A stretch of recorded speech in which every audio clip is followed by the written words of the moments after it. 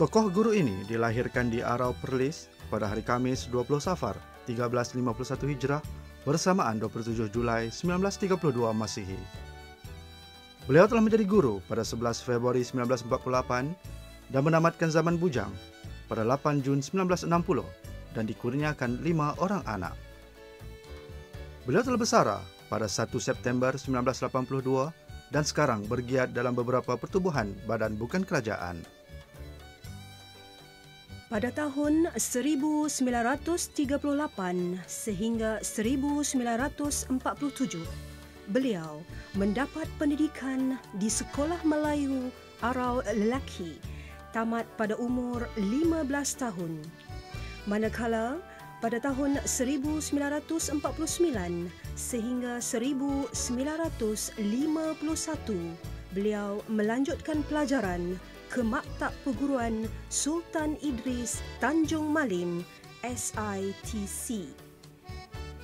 Pada tahun 1978, beliau telah lulus Sijil Pelajaran Malaysia SPM.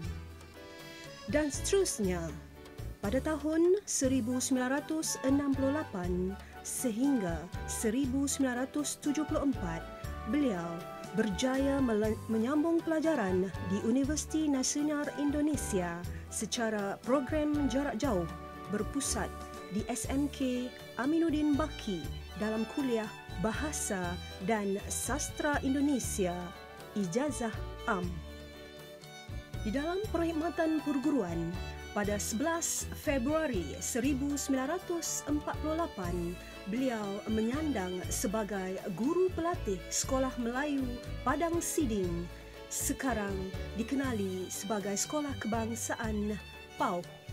Masa tu dalam penjajahan lagi belum ada Persekutuan Tanah Melayu. Tak berapa bulan baru adanya Persekutuan Tanah Melayu. Ha, kemudian kita ikut dasar pendidikan yang baru walaupun tak ditentukan tak ada buku penyata macam penyata razak apa sehingga tahun 56 saya rasa masa tu orang merasa seronok buat kerja. Walaupun gaji tak banyak RM69 ya pada akhirnya kami diberi gaji. Hmm, bagi saya Cikgu Zain seorang contoh pendidik yang terbaik lah kerana dalam umur 12 tahun pun saya dah dapat merasakan yang beliau sangat berkesan dengan mendidik kami dengan memberi tujuh ajar sabar dengan kerana anak-anak murid dia. Sehingga Cikgu Zain adalah guru yang paling disenangi oleh pelajar lah. Sehingga sekarang pun kebanyakan bila jumpa kawan-kawan lama masing-masing uh, menanyakan khabar juga Cikgu Zain. Cikgu Zain sihat ke? Uh, dia ni apa? Yang saya tahu lah dia ni suka buat kerja amal-amal kebajikan uh, sampai dia sakit pun kira dia dia minta dia, masa dia sakit dia buat operasi itu dia, dia minta dekat Allah kan dia kata kalau dia umur panjang, dia akan buat amal kebajikan sampai dia meninggal. Atas jasa dan penglibatan beliau, penghargaan demi penghargaan dan pengiktirafan dianugerahkan kepada beliau. Antaranya pada tahun 2010, beliau dianugerahkan sebagai pemimpin pertubuhan berkualiti negeri Perlis oleh Pejabat Pendaftaran Pertubuhan Malaysia Negeri Perlis.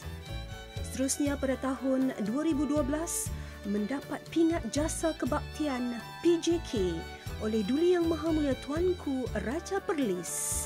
Seterusnya pada tahun 2014 menjadi ikon warga emas Negeri Perlis oleh Jabatan Kebajikan Masyarakat Negeri Perlis.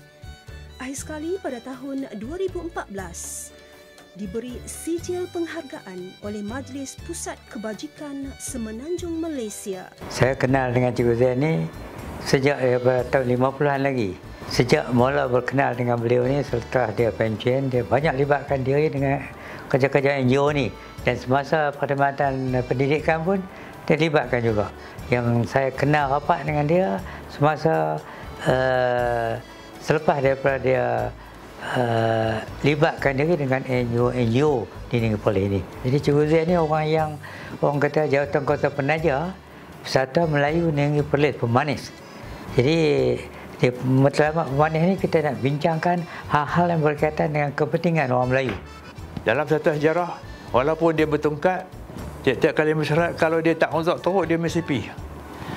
Ha, bila ada sesuatu perkara yang uh, bertelingkah faham-fahaman dalam perjuangan dan pengurusan pentadbiran dan sebagainya dalam mesyuarat jawatan kuasa itu maka dia mengeluarkan pendapat sebab dia banyak pengalaman NGO semua ini uh, apa general order dia dia cukup faham jadi bila keluar general order nombor sekian kata begini begini jadi orang lain faham ya tidak setengah tu nak nak buat ikut suka hati ya ha, buat kita buat lagu ni lah ya, kita tak boleh boleh kita buat tapi kalau melanggar beberapa aturan jadi tak, tak ada makna.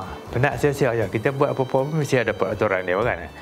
Harapan saya uh, kita perlu pelaksanaan yang kata orang kata bahasa sekarang kata tepat nah jitu maksudnya tepat menuju matlamat sebenar sebab keadaan hari ini saya perhatikan kita rasa-rasa peranan pelajaran yang sebenarnya kita belum capai. Sebab bila kita ini tak dapat ditentukan, sukar kita makna tentukan apa nama rupa bangsa negara. Ancaman yang besar kepada perkembangan bahasa kita ialah keyakinan orang kita ni yang telah didik berketurunan dulu ni bergantung kepada bahasa lain. Cikgu, jangan kau persoalkan siapa kamu di hati kami. Terukir di bintang, tak mungkin hilang jasa dan baktimu pada kami.